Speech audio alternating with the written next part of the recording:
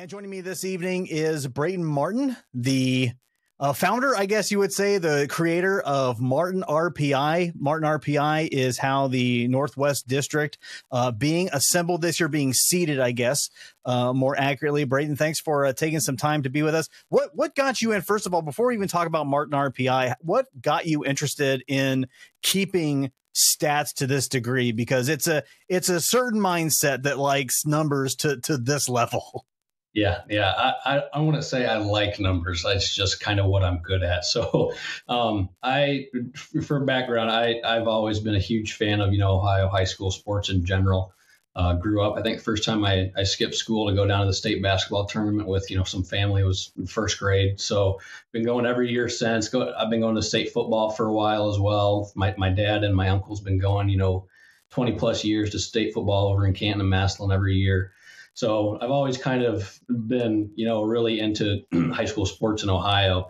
Um, and then personally, I'm, I kind of have a, a, a, decent background with, you know, math and numbers. I'm very analytically driven.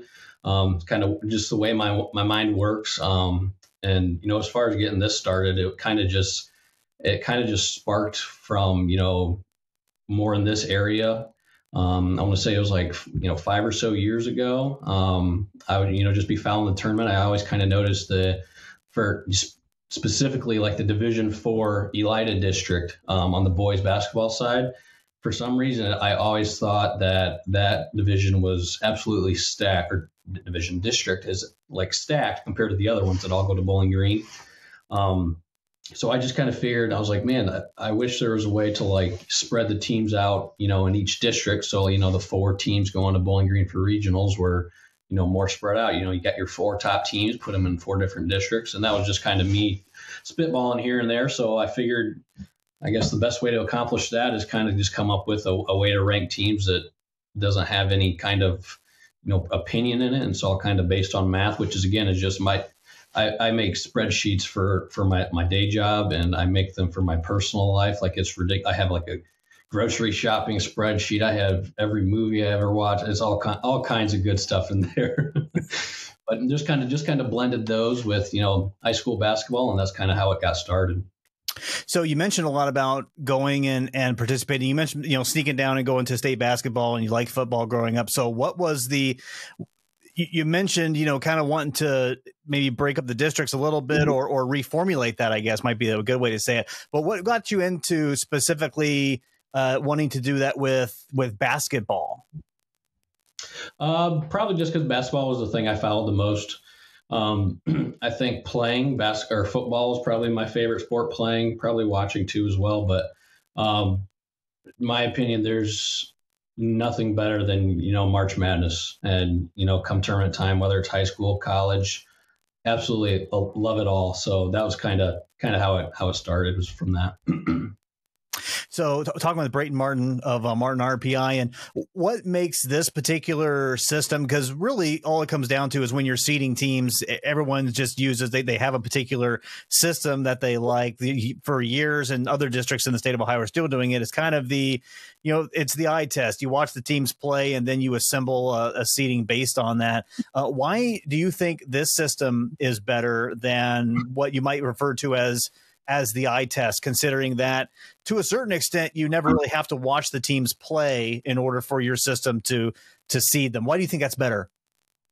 Uh, right. So I wouldn't say it's 100% better.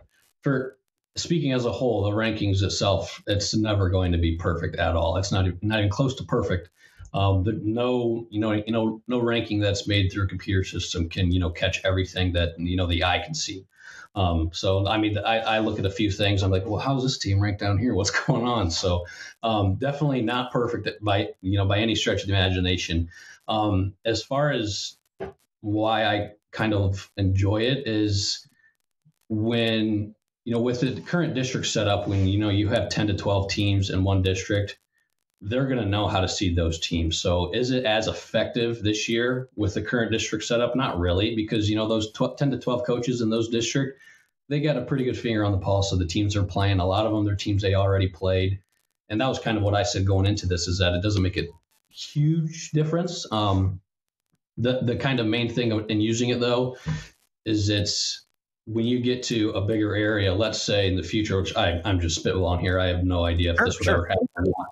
Let's say it goes to, you know, like the super sectional where you got, you know, division four, you got 50, 60 teams. You see them one through 50 or 60 this way is kind of the RPI is kind of the best way to do it because get a team from, you know, down by Lima area, they're not like, you know, let's say Lima Perry, they're not going to know how to rank, you know, like the, the BBC schools way up in the Northwest corner.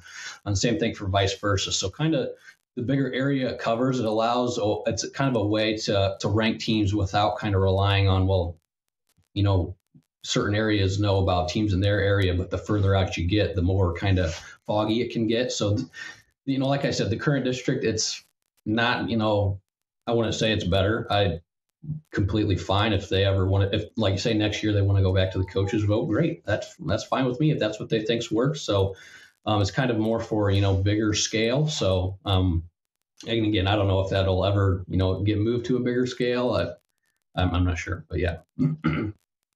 uh, last question. So five years from now, what do you want Martin RPI to look like?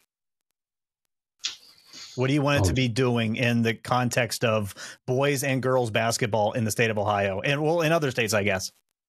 Man, that's a tough one. Five years, I, five. I guess five years ago, I wasn't even doing this, so I, it's really tough saying.